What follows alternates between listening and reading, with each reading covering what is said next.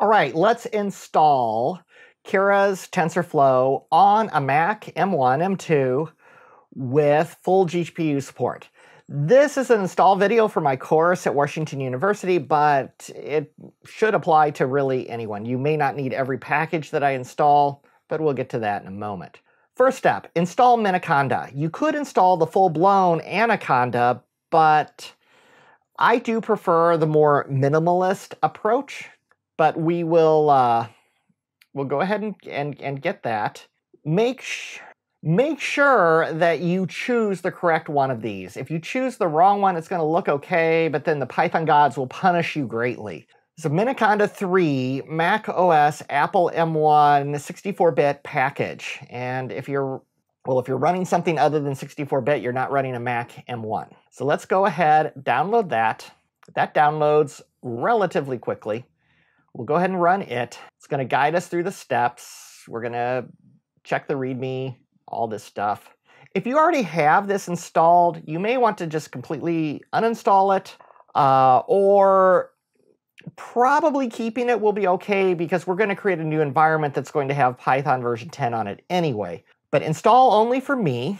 We will go ahead and install. You should not get any security prompts or anything here. If it is prompting you for your password, you're probably trying to install it off in the root location, and that'll give you other problems later. And by the way, if you run into problems on these, post the errors that you get in the comments section. I don't have time, unfortunately, to help everybody one on one, but as I see those, that helps guide me for future videos, and other people watching in the comments may help you as well. I've, that's the usual flow on the previous versions of these videos. So it's installed. We'll go ahead and close. We'll move the package file to the trash. We really don't need it. And then the next step is we're going to open up a terminal. Just click that. And we're going to run this little bit of code here. That installs some Xcode tools that you might need, that you do need. And I already have it installed, so I'm just going to get that prompt back.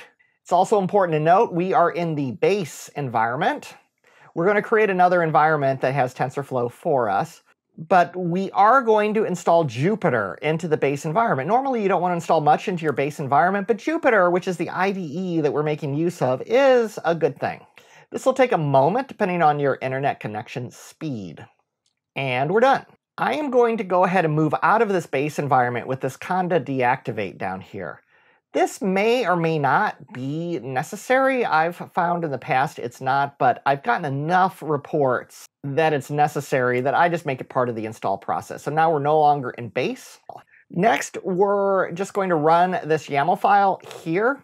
There's always much confusion on where this file is located. I'll try to make this as clear as possible. I will post the link to it in the description. The link to this file overall that I'm following is also in the description. If you just click it, it'll pop it open for you. You can clone my entire repository to your local computer, or you can just just save as and put it off to your to a location and then run it. But you're going to need to run this command. And I'm going to go ahead and pop open a new terminal window so I get the base back and just so now I'm going to go ahead and run this command. Make sure that the YAML file is in your current directory. I'll even put a wget command to just pull it down directly. This takes a moment to run because it downloads a lot of stuff. If you're going to get an error, this is most likely where it'll pop up. Again, this will depend on your internet connection speed. All right, it's available. We will follow the next step and conda activate TensorFlow. And then we're going to run this command. This puts it actually into the Jupyter Notebooks list of kernels. If this command gives you an error that you don't have IP kernel, just conda install it. It was part of my YAML file, so it should have installed. But if you prune that back, you might have taken IP kernel out. So just, just conda install IP kernel. That appeared to work. Now you'll want this, this Jupyter notebook that I have here, the, the the TensorFlow install Mac version because you're going to want to run this very last part just to see that it says GPU is available. It's the final check. I already have it in this current directory. So just scroll to the bottom. I'll put a wget command in for this one too, that you can just pop the wget command into the terminal and it'll come down for you. You run this. This takes a moment because it is creating an entirely new kernel on the Mac in memory.